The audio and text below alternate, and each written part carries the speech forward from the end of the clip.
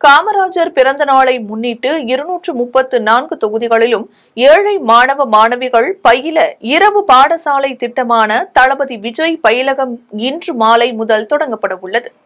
நடிகர் விஜய் இருநூற்று முப்பத்து நான்கு தொகுதிகளிலும் பத்தாம் வகுப்பு பனிரெண்டாம் வகுப்பு பொதுத் தேர்வில் வெற்றி பெற்ற மாணவ மாணவிகளுக்கு பரிசு வழங்கி அவர்களிடம் ஓட்டுக்கு பணம் வாங்கக்கூடாது என்று பேசி விஜய் அரசியல் அரங்கை அதிர வைத்தார். இது மட்டும் இன்றி தலைவர்கள் பிறந்த நாளில் தமிழகம் முழுவதும் விஜய் மக்கள் இயக்கத்தினர் சிலைகளுக்கு மாலை அணிவித்து மரியாதை செலுத்தி வருகின்றனர்.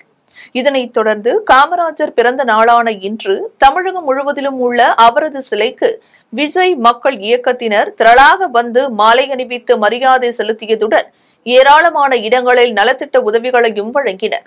காமராஜர் பிறந்த நாளையொட்டி இருநூற்று முப்பத்து நான்கு தொகுதிகளிலும் ஏழை மாணவ மாணவிகள் பயில இரவு பாடசாலை திட்டமான தளபதி விஜய் பயிலகம் இன்று மாலை முதல் தொடங்கப்பட உள்ளது.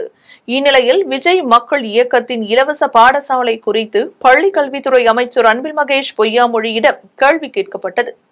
இதற்கு மாணவர்களுக்காக விஜய் இலவச பாடசாலை தொடங்கியுள்ளது நல்ல விஷயம்தான் என்றும் இல்லம் தேடி கல்வியின் நோக்கமே அதுதான் என்ற அவர் கொரோனா காலத்தில் யார் யாரெல்லாம் பாதிக்கப்பட்டிருக்கிறார்களோ அவர்களை சேர்ப்பதற்கான பணிகளை செய்து வருவதாக கூறினார்.